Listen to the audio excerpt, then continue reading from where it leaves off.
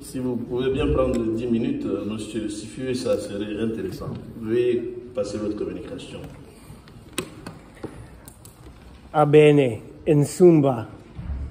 Greetings in my ancestral Balanta language. I think it is appropriate to uh, start off in, in our language. Okay, I will start again. Uh, Abene, thank you. In Nsumba, greetings in my Balanta ancestral language. Um, very honored to be presenting today.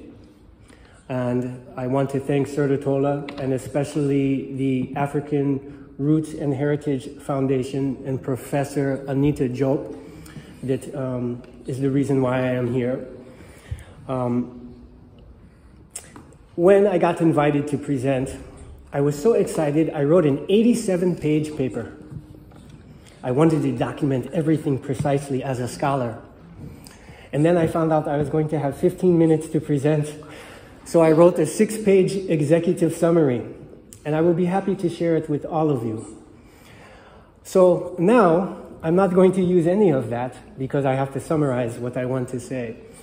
And I want to start by saying that I was afraid that my presentation, which is entitled New Afrikan Consciousness versus New Afrikan Thought, Mysticism in the Age of Artificial Intelligence, I was afraid that maybe I would be mocked and ridiculed because I was going to speak about what I call non intellectual faculties of knowing and abilities that transcend our normal capacities, our abilities to connect directly with the supreme intelligence that is running all of our internal systems inside every single cell of our body and is governing the 3,200 galaxies in our solar system and the 10 to the 10th to the 16th number of potential galaxies that are out there. There is this supreme intelligence, and it lives inside our body. And we have the capacity to uh, communicate directly with this supreme intelligence. And it gives us a knowledge, a gnosis. It is what I call non intellectual. So we have this faculty of our mind that is the intellectual capacity where we are receiving information from the environment and we process it primarily in our brain. We take this data, we store it, we rearrange it, and then we represent it. Well, now that mechanical process of thought is handled mostly by computers and artificial intelligence that can do it better than the human mind. If I ask you right now, right? Um, uh, give me the list of the 20 um, uh, uh, most popular um, African novelists. I can do that search on Google and I will get the information in a matter of seconds. But if I ask you, it will take you some time and you might not even be able to complete it. So that intellectual processing is going to be handled by artificial, uh, artificial intelligence. The thing that artificial intelligence can't do is what I call consciousness. Consciousness is the ability to communicate internally with the supreme intelligence that is uh, uh, coordinating the trillions of cells in your heart and in your lungs and causing them to work harmoniously. Now, anybody that manages a company or a country of 50 million or 200 million knows how difficult it is to get all of these different elements to work together in harmony. But we have that intelligence within inside us and throughout the universe. So in the future, those who have power are not going to be those who have the greatest intellectual capacity. It will be those who have the greatest non intellectual capacity, or what I call inner engineering technologies, that can be taught and that are being taught outside of Africa. The United States, in research institutions and through its Central Intelligence Agency, spent hundreds of millions of dollars in the 1960s to develop some of these inner engineering technologies, such as remote viewing, which is the ability to see at a distance, right, what is going on halfway around the world. And the Russians also. my paper discusses this in detail. But what I want to do right now is to give a few concrete African examples. First, I want to start with the ancient Kemetic or Egyptian example. Actually, I want to go before that because, as our great scholars tell us, we cannot understand Kemetic uh, um, civilization and culture until we understand the pre-Kemetic Bantu and Anu Nilotic cultures that created the first dynasty in Kemet. And we know, especially those of you in Cameroon uh, and with the Bantu cultures, that we have this ability to speak to what we call the living deceased. Right? There is what is called an Ina. I don't know if I'm pronouncing it correctly, right? So we had this ability to talk to the ancestors who were existing in another realm. And we could literally see a part of their spiritual anatomy that was still present on earth. Western science likes to call it an aura or a ghost, but Bantu have its own um, uh, uh, language to describe this. Okay, so right there is an example of this ability. Um, the West likes to call it supernatural ability, but an ability to access information from another realm. My second example is by the time you get to Kemetic culture, you have knowledge of spiritual anatomy. Meaning, for example, most of us in this room know our physical anatomy. If I were to ask you what are the parts and systems that make up your physical body, you can tell me I have arms and legs, ears, eyes, nose, I have a respiratory system, a cardio, a cardio system, a neurological system. But if I ask you, name the parts and systems of your spiritual anatomy, because you are a spiritual being, most of us cannot name those parts.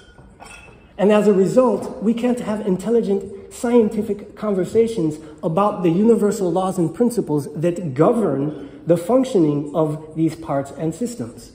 But our ancient Kemetic ancestors did. They could tell you about the, the Ket, which is the physical body. They could tell you about the Ka, which is the, um, what we would call vital essence. They could tell you about the Sa, which is the spirit that enters into the body. They could tell you about the ba, which is what we would call personality, that is the result of your accumulated experiences in the physical realm. They had a whole nomenclature and lexicon to describe the spiritual body, right, and how it works and how it functions. So, for example, they will say that the sa or this divine energy, spiritual energy, entered into the ket, or the physical body um, of a, a, a, a, person or a ba that we call Jehuti, or that is later on translated as Tehuti, which is becomes taught, which is becomes thought. And Jehuti is this person, right, who um, uh, had this divine connection and as a result was able to write 1,100 books and is the father of what we call civilization, science, medicine, all of these things. So we have an African example from the ancient time. Now, let me fast forward to a more modern time in the United States because I've told I have three minutes left and I've only just begun. In the 1860s, a young child was born, and his name was George Washington Carver. Okay, George Washington Carver was well known for his ability to speak to plants. And as a result, right, he was able to um, find more than 320 uses of the peanut. The, the peanut literally told him, do this, do this, do this, do this. This is a, a person who didn't have the benefit of our modern education. Now, he was recruited to teach at Tuskegee University. And there, they were over uh, farming cotton and tobacco. He said, no, plant the peanut and plant sweet potato, and this will help replenish the soil. You'll get greater yields, etc. When the farmers did this, they grew so much peanut and sweet potato that they couldn't sell it. So at that point, the peanut told George Washington Carver, do this, do this, you can make paint, you can make clothes, you can do this.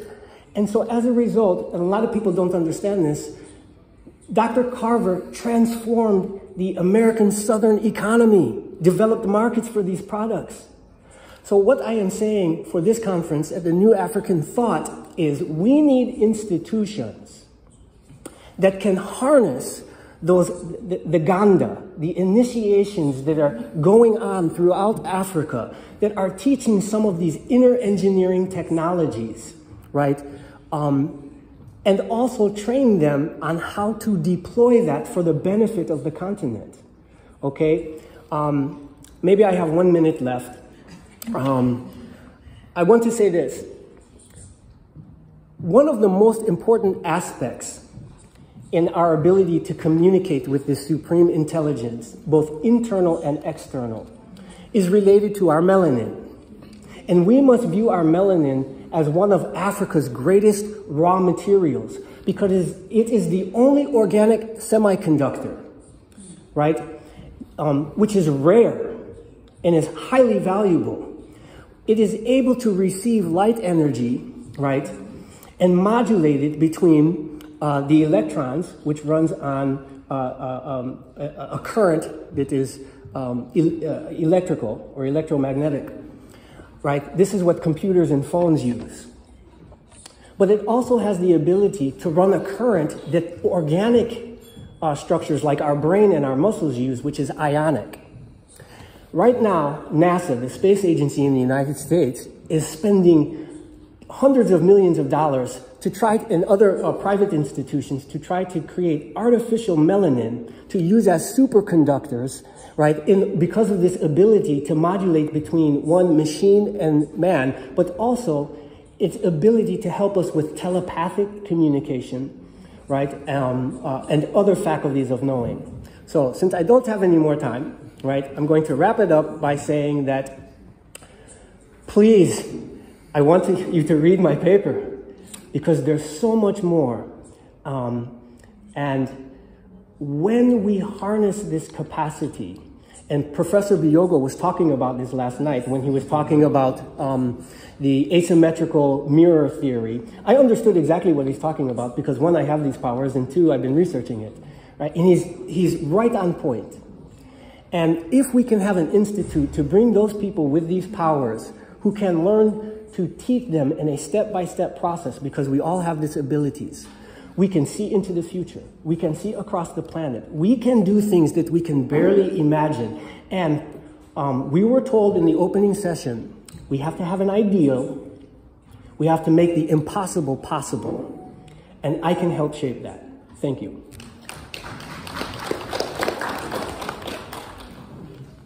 Je vais dire merci infiniment et